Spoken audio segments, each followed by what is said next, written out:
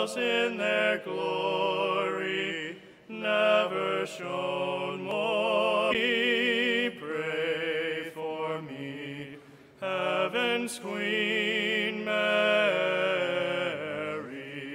help us all who call on you. Angelic hosts around you, singing praises of esteem. Cherubim and seraphim, know that you are heaven's queen. Pray for me, pray for me, heaven's queen Mary.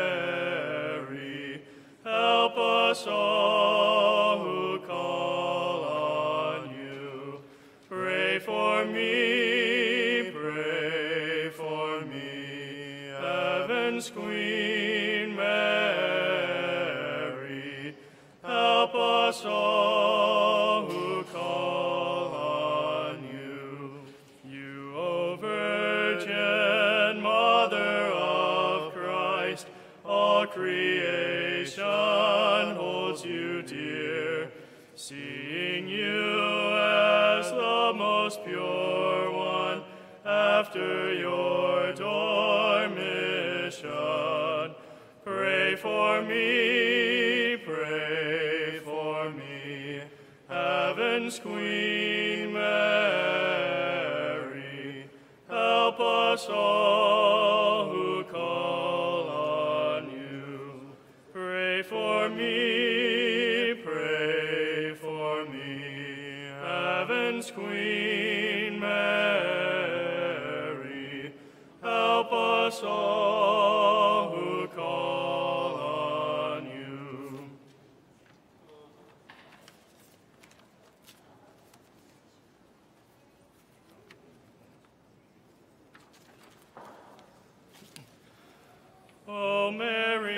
intercede for us before our Lord and God your Son, robed in radiance, more than all the stars above. Holy Virgin Queen, made so by God's love,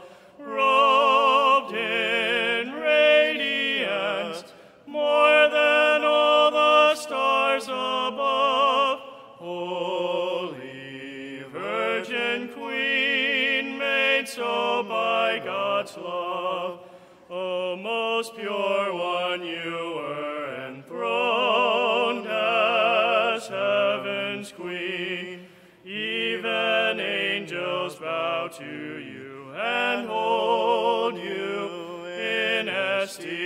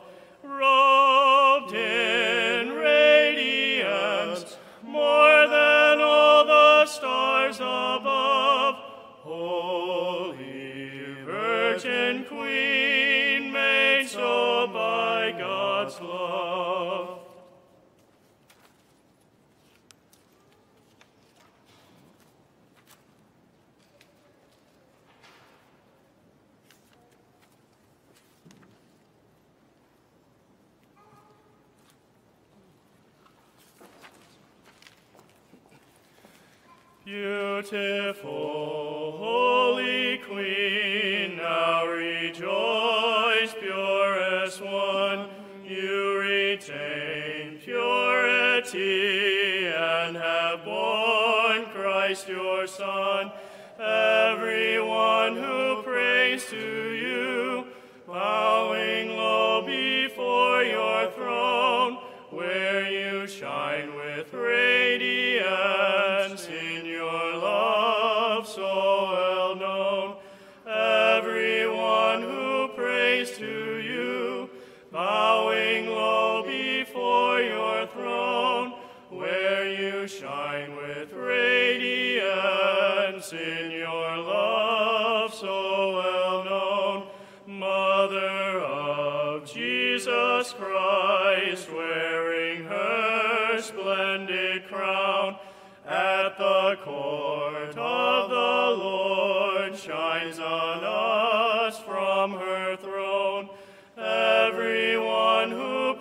Prays to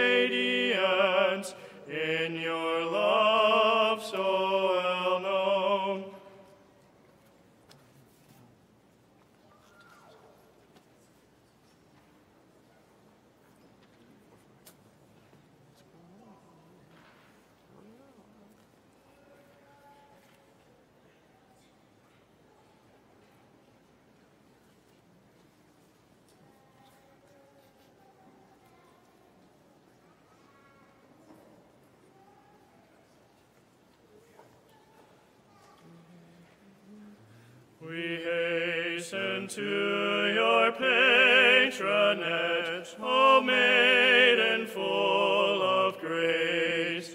We seek your help in every need, our Queen and Advocate, and keep us free from sinful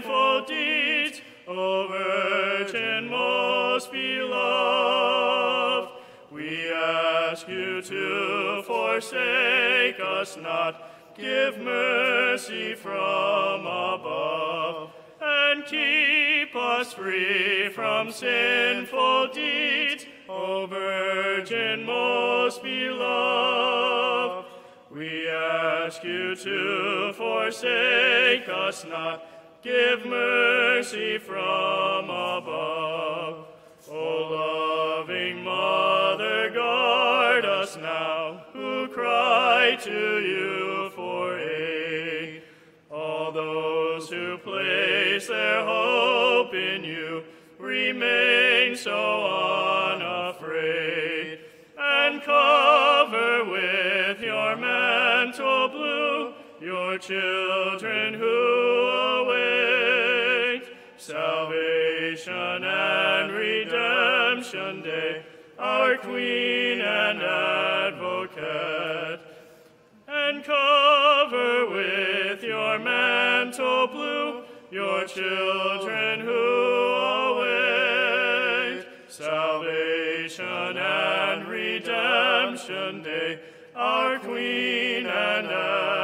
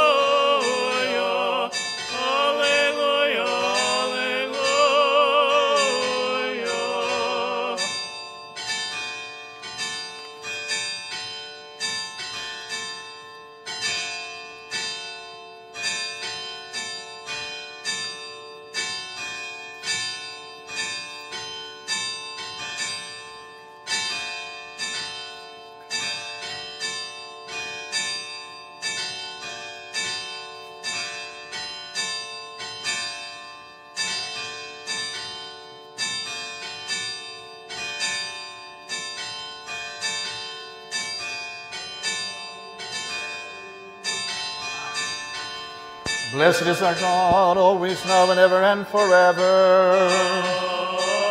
Amen. Let us pray to the Lord. Eternal God, you gathered the separate into one and make the bond of love unbreakable. You blessed Isaac and Rebekah and marked them as heirs of your promise. Bless also these your servants of yours, Daniel and Margaret, and guide them in good works of every kind. For you are a merciful man, befriending God. And we send up glory to you, Father, Son, and Holy Spirit, now and ever and forever. Peace be to all. And to your spirit. Bow your heads to the Lord. Lord our God, you betrothed the church, a pure virgin, called from among the nations. Bless this betrothal. Join together these servants of yours and keep them in peace and concord. For all glory, honor, and worship are rightfully yours, Father, Son, and Holy Spirit, now and ever and forever. Amen. The servant of God, Daniel, is betrothed to the handmaid of God, Margaret, in the name of the Father and the Son and of the Holy Spirit. Amen. The handmaid of God, Margaret, is betrothed to the servant of God, Daniel, in the name of the Father and of the Son and of the Holy Spirit. Amen. Let us pray to the Lord. Lord have mercy. Lord of God, you accompanied the servant of patriarch Abraham when he was sent to Mesopotamia to choose a wife for his Lord Isaac. By means of a sign, the drawing of water from the well, you showed him that he should betroth Rebekah. Bless the betrothal of your servants, Daniel and Margaret, and make the world they have spoken a reality. Sustain them with the holy union with, that comes from you, for you made male and female from the beginning, and you are the one who matches a wife to her husband, so that she may be his helpmate and the human race may continue. And also, Lord our God, you extended your faithfulness to your inheritance and your own promise to your servants, our fathers, your chosen ones in every generation. Look kindly on your servant Daniel and your handmaid Margaret, and make good their pledge and trust, concord, fidelity, and love. For you, Lord, have declared that pledges be given faithfully and fulfilled. By a ring, power was given to Joseph in Egypt. By a ring, Daniel was exalted in the land of Babylon. By a ring, Tamar's innocence was proven. By a ring, our Heavenly Father showed compassion for his prodigal son, for he said, Put a ring on his right hand, kill the fatted calf, and let us eat and celebrate. Your own right hand, Lord, armed Moses in the Red Sea, and just as your faithful word established the heavens and made the earth's foundations firm, so too will your mighty word and your uplifted arm. Bless the right hands of your servants. Therefore, O Master, with a heavenly blessing, bless now this putting on of rings, and may your angel go before your servants all the days of the life, for you are the one who bless and sanctify all things, and we send up glory to you, Father, Son, and Holy Spirit, now and ever and forever. Amen. Oh, blessed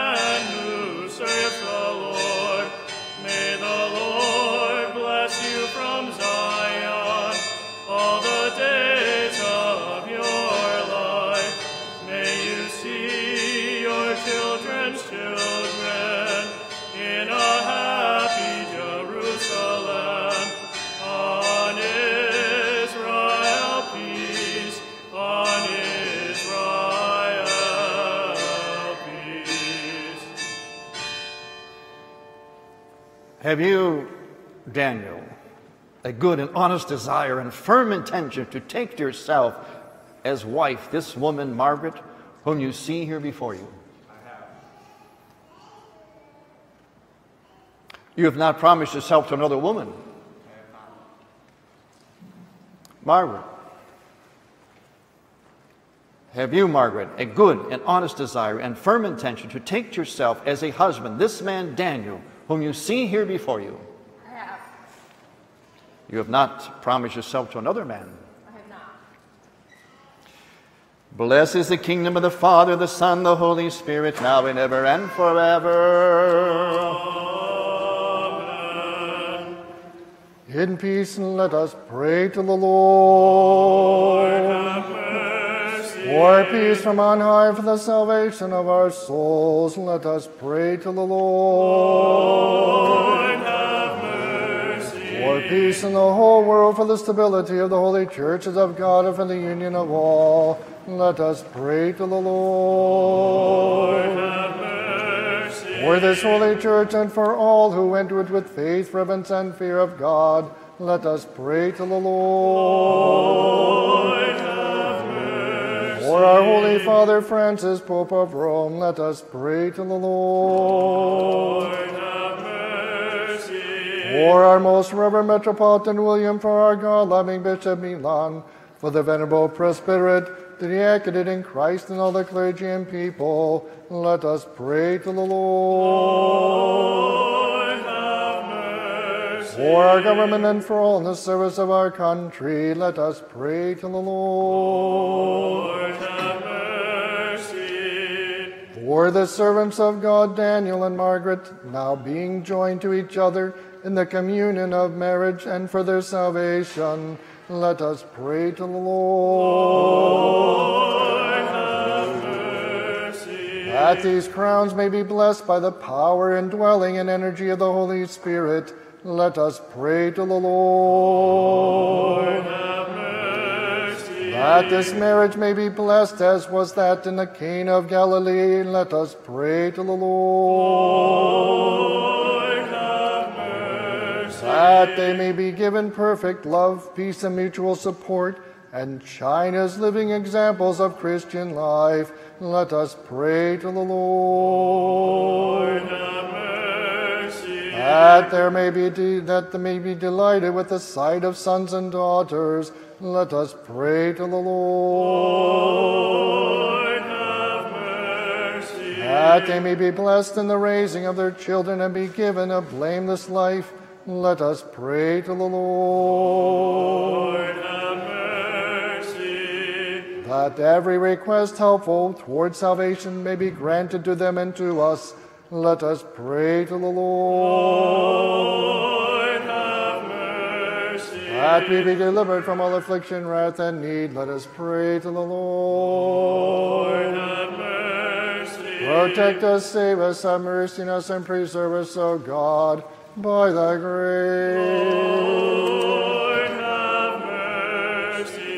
Most holy, most pure, most blessed and glorious Lady, the Theotokos, Son of a Virgin Mary, with all the saints, let us commit ourselves and one another and our whole life to Christ our God. For to you, Father, Son, and Holy Spirit is due all glory, honor, and worship, now and ever and forever.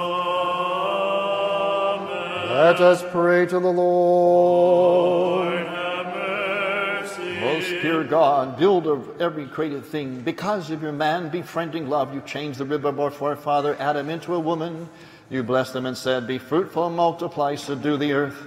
By uniting them, you made one flesh of the two. This is why a man leaves his father and mother and clings to his wife, and the two become one body. And what God has united, man must not separate.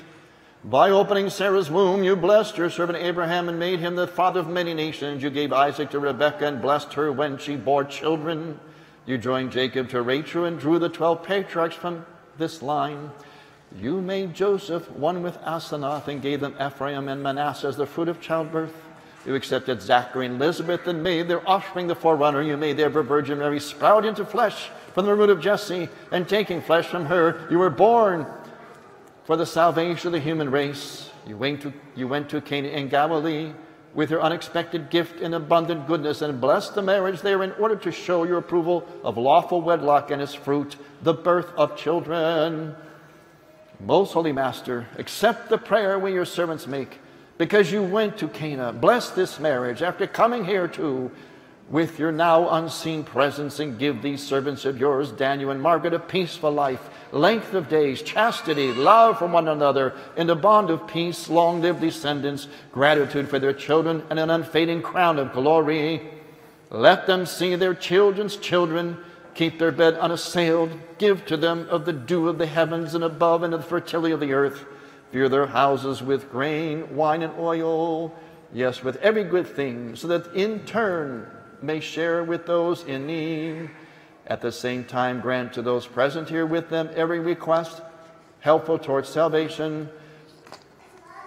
For you are a God of mercy and compassion, and man befriending love, and to you with the only beginningless Father, your most holy, good, and life creating Spirit, we send up glory now and ever and forever.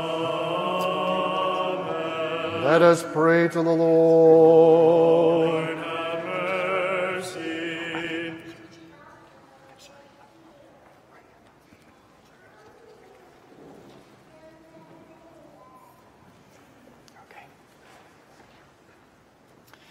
Holy God, you built out of dust and out of his rib, you built woman. You built man out of dust, and out of his rib you built woman. You joined her to him as a suitable helpmate because you, in your majesty, saw fit that the man should not be alone on the earth. And now, O Master, unite this servant of yours, Daniel, and this handmaid of yours, Margaret. For you're the one who match a wife to her husband. Unite them in concord, weave them into one flesh, and give them the reward of fine children. For yours is the reign, and yours are the kingdom, and the power, and the glory, Father, Son, and Holy Spirit, now and ever and forever. Amen.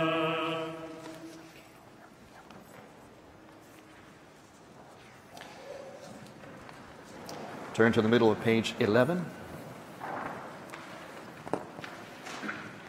What God has united, a man must not separate. The servant of God, Daniel, is crowned for the handmaid of God, Margaret, in the name of the Father, and of the Son, and of the Holy Spirit. Amen.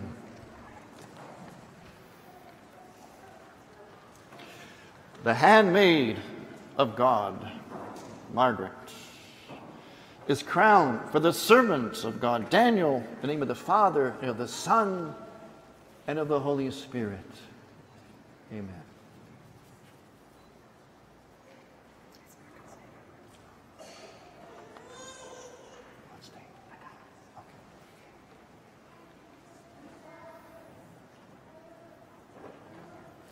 Lord our God, crown them with glory and honor. Let us be attentive Peace be to all. Wisdom be attentive. Place crowns of precious stones upon their heads. They have asked life of you, and you have given it to them. You have given them a blessing forever, and have made them glad with the joy of your presence. You have placed crowns of precious stones upon their heads. They have asked life of you, and you have given it to them. Wisdom. A reading from the letter of St. Paul the Apostle to the Ephesians. Let us be attentive. Brethren, to God the Father always and for everything in the name of the Lord Jesus Christ. Defer to one another out of reverence for Christ.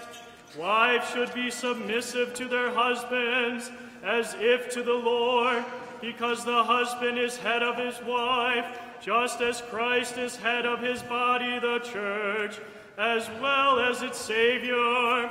As the church submits to Christ, so wives should submit to their husbands in everything. Husbands, love your wives, as Christ loved the church. He gave himself up for her to make her holy, purifying her in the bath of water by the power of the word, to present to himself a glorious church, holy and immaculate, without stain or wrinkle or anything of that sort. Husbands should love their wives as they do their own bodies. Who loves his wife loves himself. Observe that no one ever hates his own flesh. No, he nourishes it and takes care of it as Christ cares for the church, for we are members of his body. For this reason, a man shall leave his father and mother and shall cling to his wife, and the two shall be made into one. This is a great foreshadowing. I mean that it refers to Christ and the church. In any case, each one should love his wife as he loves himself, the wife for her part, showing respect for her husband. Peace be to reader. Wisdom be attentive. Alleluia,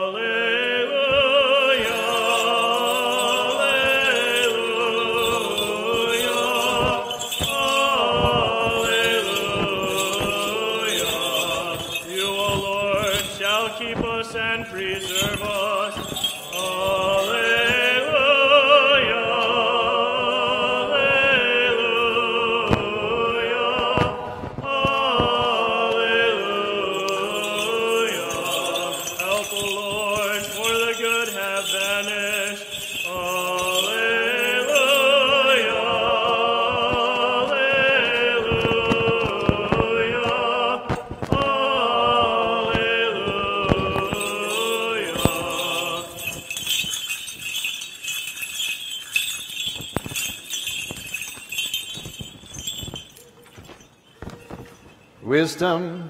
Let us stand and listen to the Holy Gospel. Peace be to all. And to your spirit. A reading from the Holy Gospel according to St. John. Glory to you, Lord. Glory to you. Let us be attentive. At that time, there was a wedding feast at Cana in Galilee, and the mother of Jesus was there. Jesus and his disciples had likewise been invited to the celebration. At a certain point, the wine ran out, and Jesus' mother told him, They have no more wine. Jesus replied, Woman, how does this concern of yours involve me? My hour has not yet come. His mother instructed those waiting on table, Do whatever he tells you. As prescribed for Jewish ceremonial washings, there were at hand six stone water jars, each one holding 15 to 25 gallons. Fill those jars with water, Jesus ordered, at which they filled them to the brim. Now, he said, draw some out and take it to the waiter in charge. They did as he instructed them. The waiter in charge tasted the water made wine without knowing where it had come from. Only the waiters knew, since they had drawn the water. Then the waiter in charge called the groom over and marked to him, People usually serve the choice wine first, then, when the guests have been drinking a while, a lesser vintage. What you have done is keep the choice wine until now. Jesus performed this first of his signs in Cana in Galilee. Thus did he reveal his glory, and his disciples believed in him.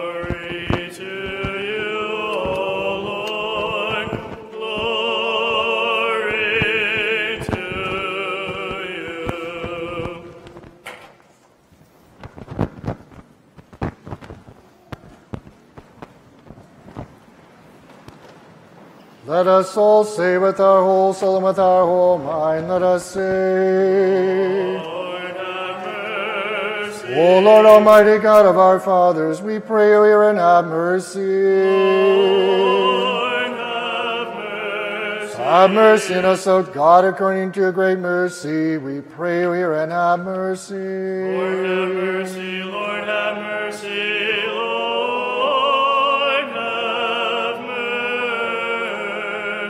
Let us also pray for the servants of God, Daniel and Margaret, now being joined to one another for their health and salvation. Have mercy, Lord, have mercy, Lord, have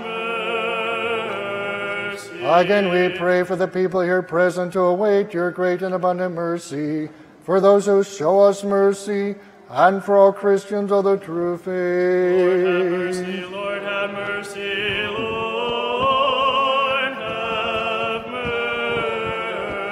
mercy. We pray, merciful, loving God, we give glory to you, Father, Son, and Holy Spirit, now and ever and forever. Amen. Let us pray to the Lord. Have mercy. Lord of God, in your plan of salvation, you saw fit to prove marriage honorable by going to Cana in Galilee. You have consented to join together your servants, Daniel and Margaret. Now keep them in peace and concord. Prove their marriage honorable. Preserve their bed undefiled. Let their life together remain without blemish and find them worthy of reaching a fruitful old age. As with a pure heart, they do whatever you command, for you are God, a merciful and loving God, and to you with your beginninglessness, Father, and your holy good and life creating Spirit, now and ever and forever. Amen. Protect us, save us, have mercy on us, and preserve us, O God, by your grace. Lord. That this whole day be perfect, holy, peaceful, and without sin, let us beseech the Lord. For an angel of peace, a faithful guide and guardian of our souls and bodies, let us beseech the. Lord. For the pardon and remission of our sins and offenses, let us beseech the Lord. For what is good and beneficial to our souls and for peace in the world, let us beseech the Lord. This, O Lord. That we may spend the rest of our life in peace and repentance, let us beseech the Lord.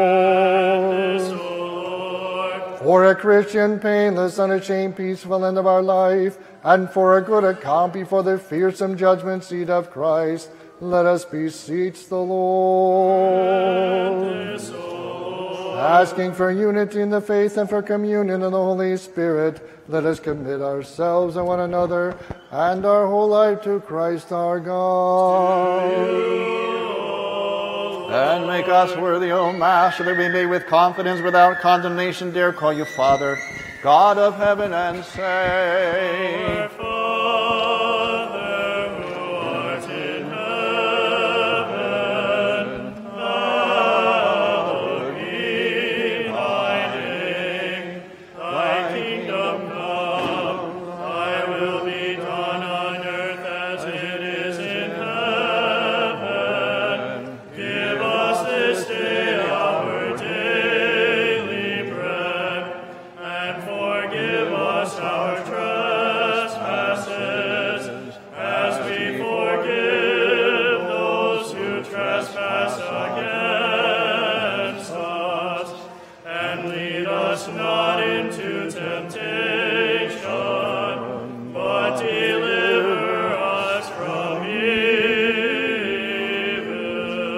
is the kingdom and the power and the glory, Father, Son, and Holy Spirit, now and ever and forever. Peace be to all. And to your spirit. Bow your heads to the Lord.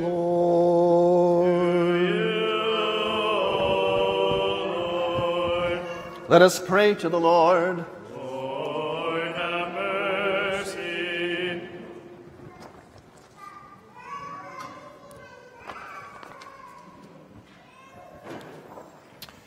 O God, with your strength, you created everything. You placed the universe upon a firm foundation and beautified the crowns of all who have been created by you. So also, bless these your servants who have been crowned in the community of marriage with a special blessing. For your name has been blessed, and your kingdom has been glorified, the kingdom of the Father, the Son, the Holy Spirit, now and ever and forever.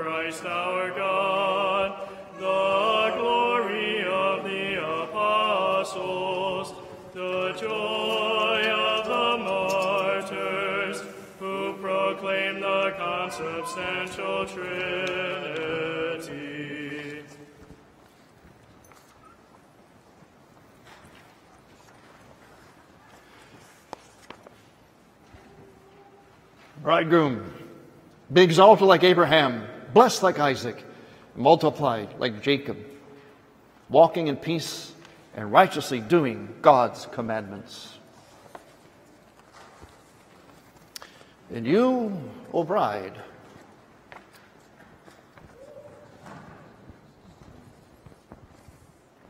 be exalted like Sarah, gladdened like Rebekah, multiplied like Rachel, being happy with your husband and keeping the precepts of the law. Do this, and you will please God. Let us pray to the Lord. Lord have mercy. God our God, you went to Cana Galilee and blessed the marriage there. Bless to these servants of yours, now joined together by your providence in the communion of marriage. Bless their comings and goings. Give their life a great store of good things and receive the crowns in your kingdom, keeping them without spot or stain or reproach for ages of ages.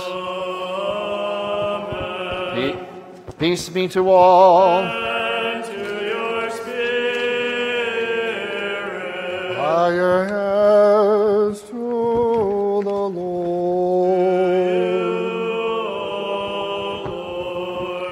the Father, the Son, and the Holy Spirit, the all whole Trinity, one in being, the source of life, one Godhead and one kingship, bless you and give you long life, fine children, success in life and faith, a great store of the good things of this earth, and find you worthy of receiving as well the good things which have been promised. We ask this through the prayers of the Holy, Holy Theotokos and those of all the saints.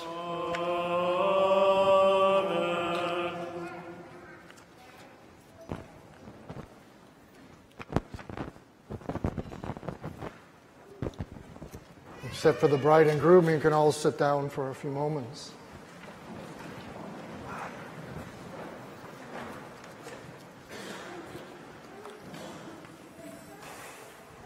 In the name of the Father, and Son, and Holy Spirit, amen. This is the day the Lord has made. Let us be glad and rejoice in it. Those two verses come from Psalm 118 from the Old Testament. And the fact that you're all here I can assume that we're all rejoicing and being glad in this day when these two people have come here to receive this sacrament, this holy mystery of holy matrimony. And I hope that all of you can actually believe that the Lord did have something to do with this day. For those rare families like Daniel's that have more than one ordained cleric in their family, they get to hear a lot more preaching than most people would on a Sunday, just for a few minutes, whether they want to or not. But I can tell you right now that everything you heard in the service, everything I will say, and everything my brother will say afterwards is truly from the wisdom of the church. But since every day we get so bombarded with so many things that are contrary to what marriage really is about, you can't get enough of this wisdom of the church. In the Byzantine church, the holy mystery of holy matrimony, it's not just a formality that makes these two legally married. It is a sacrament that they have received. And sacraments in our church are the gift of the grace of God that He has given to us so that we can do something physical to become closer and closer to this invisible God. And in the Eastern Church, the couple receives the sacrament through the priest who stands here as the person that fills the place of Jesus Christ on earth.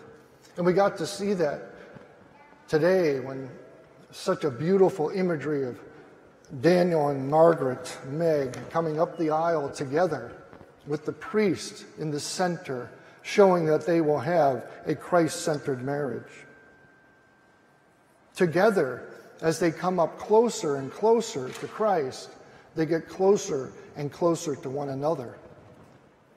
And when they came up that aisle, it was their very first challenge of their marriage to start to realize that they were no longer single people, but they had been wed in such a special way.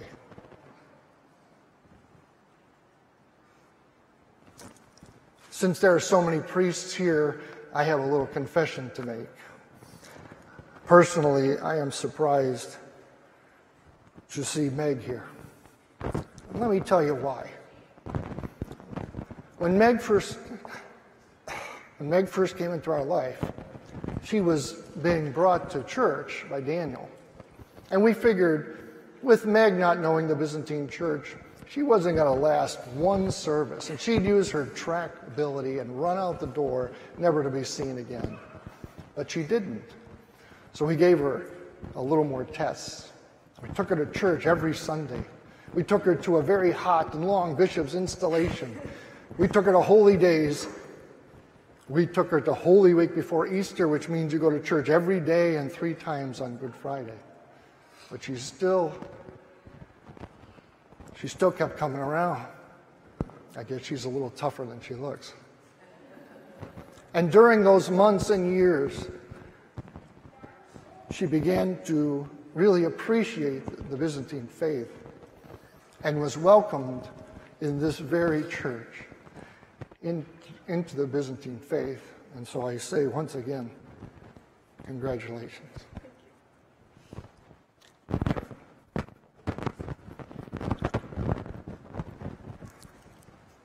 My words today are in somewhat from personal experience, but again, I will say that they are from the wisdom of the church. And what do I mean by any of that? Well, first of all, the church gives us the example of Jesus Christ. And Jesus Christ, as the bridegroom, is wed to his bride, the church, in a spousal relationship. And we know that Jesus did so much for the church.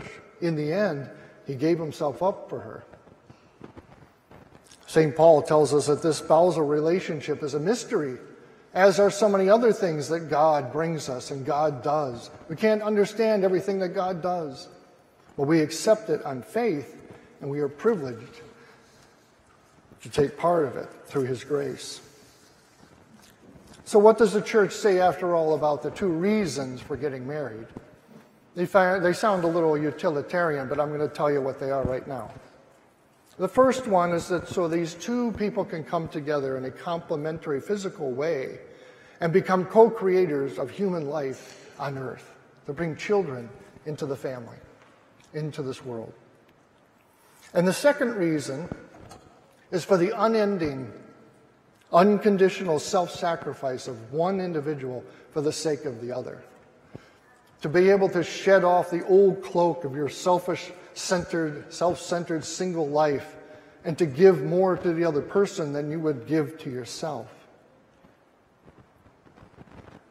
And that's it. The two reasons for getting married. And so by now you're probably thinking, well, listen to this know it all deacon. He forgot to mention love. Well, I didn't forget, and I will talk about it. Now, let me ask first for some of the older couples here, some of them have been married a long time. I want you to raise your hands right now if you love your spouse. Okay. it was going to change the whole homily if no hands went up, believe me. Now think back to those early days so long ago when you were first dating and you were so excited to see one another and you got engaged and you got married. Try for a moment to compartmentalize that love just for a moment. Now, I want you to think about the love that you have for your spouse right now, these older couples. Raise your hand if you think that that love is the same or equal to the love you had when you were young. Okay. It's not really a right or wrong answer there, but if you got it right, you would have not raised your hand. Because you see, it's not fair to compare the love that we have now for one another to the love that Meg and Daniel have. This is not a put down on their love, it's the reality. You can't compare a love, say, of my wife and I. Oh no, our love has been able to stand the test of time, almost 33 years. Love that's withstood maintaining a household, of raising eight children, of financial concerns of the loss of many loved ones. Oh no, our love has stood the test of time and only grown better and stronger by our commitment to one another. That is what love is. And this is my underlining that statement. Commitment is what it's all about. Love on its own was not what the thing that was going to propel us through all those years. Love on its own is not going to be the very foundation of your marriage. After all, a famous Protestant theologian once said, It is not your love that will sustain your marriage, it is your marriage that will sustain your love. See, the problem is too many of us see love as simply a feeling, and we can't be dictated in our life by simply our feelings. Of course, we do have a lot of feelings when it comes to marriage, but some of them would be better described as infatuation or admiration or passion or even lust. The problem with thinking that love is just another feeling is that feelings are very fickle. They come and go. People love this and then they don't love this. It wasn't too long ago, all of us Cleveland Browns fans loved Baker Mayfield, and now we don't. So people fall in love, and then they fall out of love and they get divorced. The love we need for a marriage is the verb form of it, to love. It is a choice you make to be committed to that other person, to care about that other person even more than you care about yourself. And a commitment like that requires a lot of effort.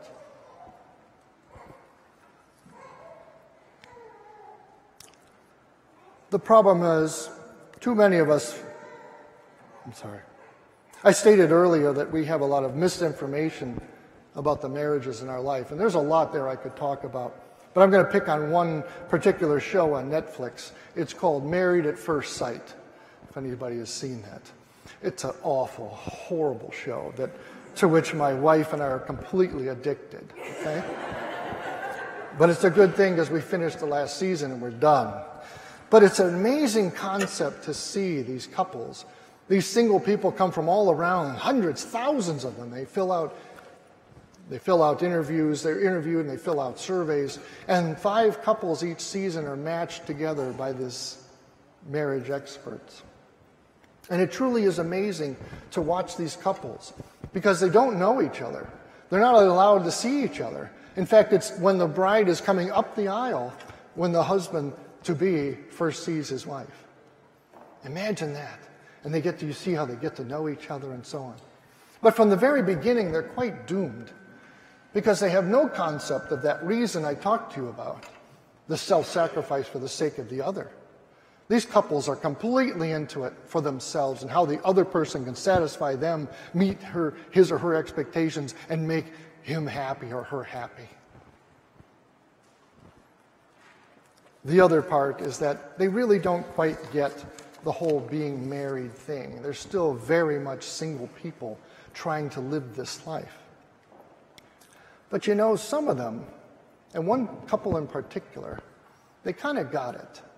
They kind of understood that marriage was about the other person. And you could see them getting closer and closer to each other. And eventually, after about six weeks in real time, they told each other that they loved each other. Now imagine, these are two people that didn't even know each other, let alone love each other before they got married. And to me, they have a pretty strong foundation because they're not letting just a simple feeling be the foundation of their marriage.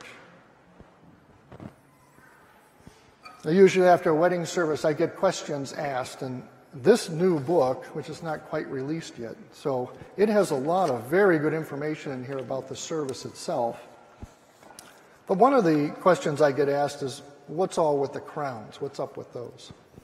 Well, one thing you can notice if you happen to look at this crown, and if you put it up next to your ring, you'll notice that these rings and the crown have a perfect circle.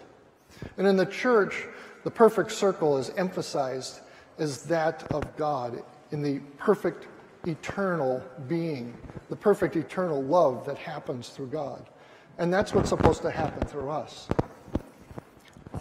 But these crowns that they wore today show that Margaret and Daniel are now the king and queen of their own family, king and queen of their domestic church.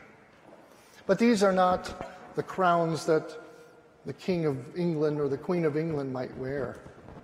The church calls these the crowns of martyrdom. And you think, martyrdom? And the couple may be thinking to each other, to whom am I to be martyred? Hmm. All you have to do is look at one another, and you'll see it.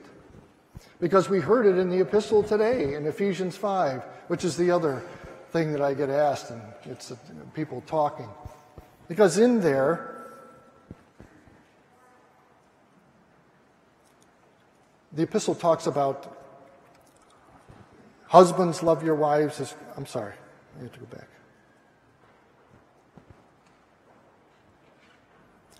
To be martyred for the other person, to put aside that self centered singleness that you had all your life. Everything was directed in toward you. When you were a baby, everything was given to you. And when you got older and single, everything became what it was about me to be comfortable. Now you have to think about someone else.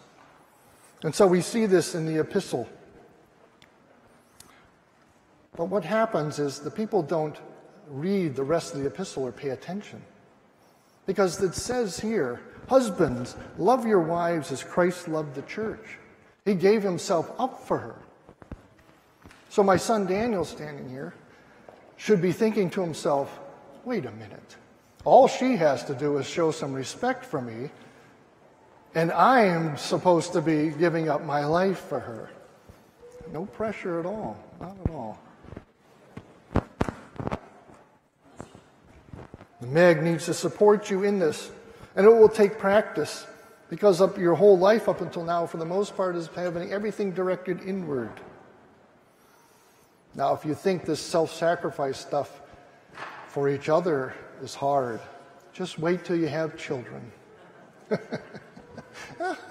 I'm sorry for laughing. Really, I'm sorry for laughing. Children, of course, add a new twist to the challenges of marriage. Children are a blessing from God, and my wife and I, uh, Kate, were blessed eight times. You know, when I tell people I have eight children, they kind of back up, like, ugh, like it's contagious or something, you know. But in this service, we heard the word children about a dozen times. It is the church's wish that you will be blessed with good children, and even blessed even more to see your children's children. And for some people who are really blessed, like my mother, you get to see your children's children's children. And so I'm done talking to the couple. For the rest of us, Daniel and Meg are going to need our help. For today, it is no longer Dan Loya and Meg Cantley they are a newly united couple that have come here and received the sacrament of holy matrimony, and they now call themselves Mr. and Mrs. Cantley, Mr. and Mrs. Loya.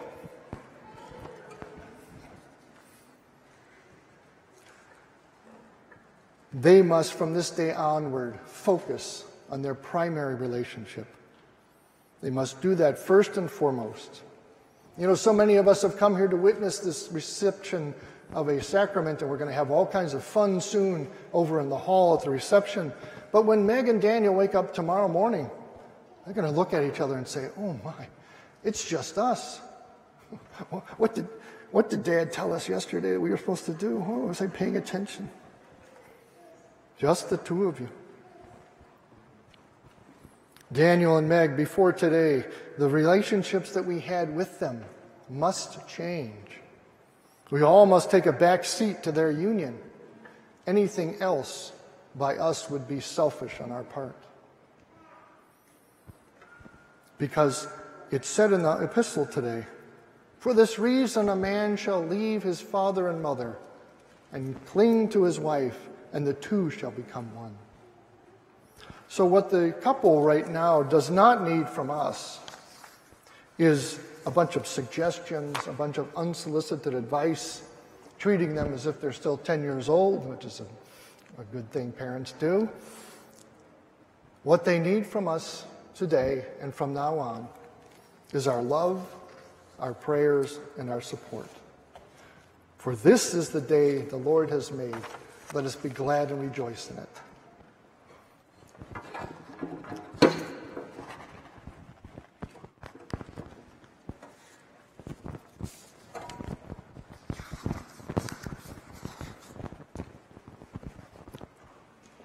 Wisdom.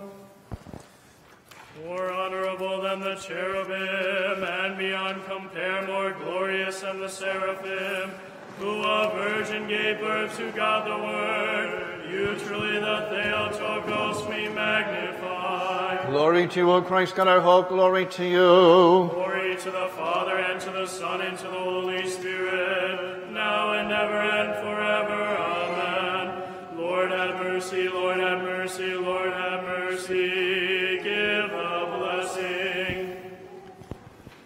May Christ, our true God, who proved marriage honorable by his presence in the Cana of Galilee through the prayers of his most pure mother, of the holy and ever honored apostles, the holy, divinely crowned sovereigns and equals the apostles, Constantine and Helen, of the holy martyr Procopius, and through the prayers of other saints, have mercy us and save us, for Christ is good and loves us all.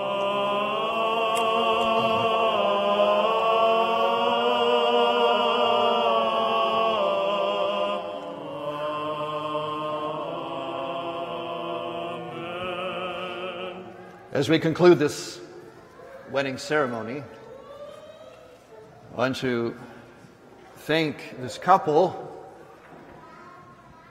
for the privilege that I've had to celebrate this ceremony.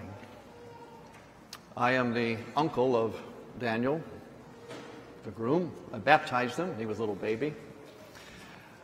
I also want to thank my brother priests, first and foremost, Father Midon, the pastor here, was also the spiritual father of the bride, as it was with him and through him, this parish, this wonderful parish, this wonderful priest, that she came into the Byzantine Catholic Church. And also, his son is here, also Father Midon. I believe that one of your babies was crying, right? That we heard his children. and Father Michael Hajduk, retired priest but long time friend of our family. As you heard, this marriage was entered into the life of the church, the life of the Trinity, according to the mind of the church. And the church has given this couple two special gifts. This day that they were married, we celebrate the exaltation of the cross. Well, there was the wisdom of the cross, and that wisdom lived and understood, guarantees a happy marriage. It's the only way, as you heard from my brother, Deacon Greg. But also, something very special. We celebrate martyrs in our church who embrace the cross. And this day, there are three child martyrs named after the three theological virtues faith, hope, and charity. And their mother, who modeled that faith for them, Sophia. They were martyred. On this day, this is the celebration of their feast. This is when this couple is married. And this church has in this, or in the wall there, the icon of that family, those three little girls and their mother, which is very, very unusual. Very unusual. And so, this indeed is a providential day for this wedding. And hopefully, after the many and for each and every one of the many anniversaries they will celebrate, they will remember the providential character of this day that they chose to be married. To the newly wedded Daniel and Margaret, grant, O Lord, true and faithful love, a peaceful, happy, and godly life, and long lived descendants, and grant them many years.